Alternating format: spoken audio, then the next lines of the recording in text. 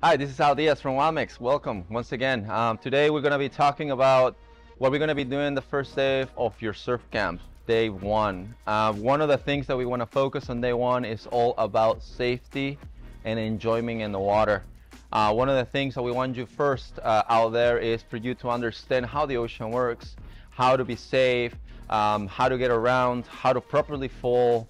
Uh, we're to be with you in the water, giving you a push, showing you how to pop up, giving you all the exact briefing about how, what you should be working on, what should be uh, trying to get good at.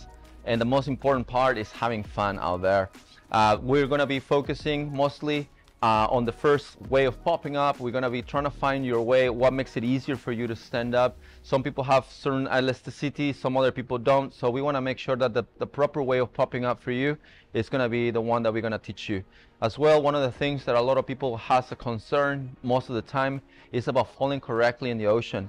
That is one of the things that we wanna work on you as well. Make sure that we teach you how to fall flat on the water, not diving, not jumping into the ocean. Because at the end of the day, most of the time we're gonna be probably surfing in shallow water.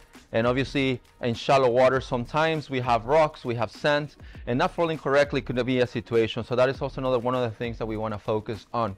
And uh, obviously kind of feeling the feeling of the ocean, feeling how the wave works, feeling even the wipeout sometimes it's also good to understand and learn how to fall because learning to fall and actually getting underwater and getting tumble in the ocean it actually helps you to understand how in the future you can manage to pass those kind of situations especially when the waves get bigger. Uh, we won't take you to bigger waves with something too scary we want to make sure that it's everything is enjoyable out there.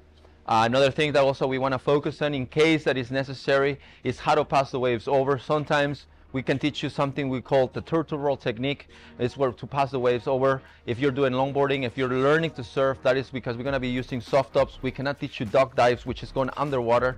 Uh, so we're gonna teach you that or even passing the waves over or how to get around to get into the waves uh, easy and not getting trashed by them.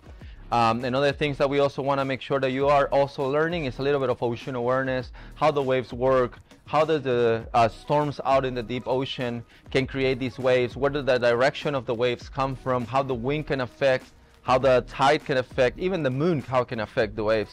So we're going to give you just a quick debriefing about that stuff. And in the future, we're going to be giving you more and more in detail of each part of this. Uh, but again, most of the time, is most concern of us is safety. Safety is one of the important things that we want to work on and that we want to make sure that you go uh, home with and you're actually uh, understanding pretty much what that is all about that we teach you. Um, another thing that we can also teach you on the first day is paddling techniques. Some of the paddling techniques is also a good way of understanding where to uh, properly put your position on your surfboard and how properly you can paddle to catch a wave or to get around. That's another things that we also want to teach you. For day two, after we teach you this, for day two, we want to start actually putting yourself more into understanding more of the dynamic or the binary wave selection where we're going to teach you how to choose and decide your wave.